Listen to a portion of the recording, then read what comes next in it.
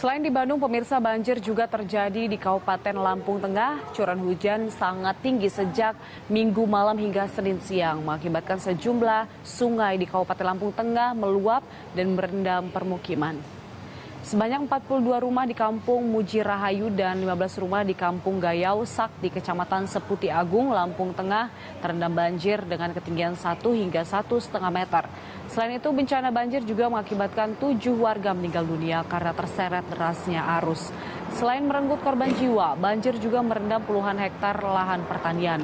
Warga berharap pemerintah daerah memberi perhatian pada warga yang tempat tinggalnya terendam banjir dan mencari solusi agar banjir tahunan seperti seperti itu tidak terus terulang.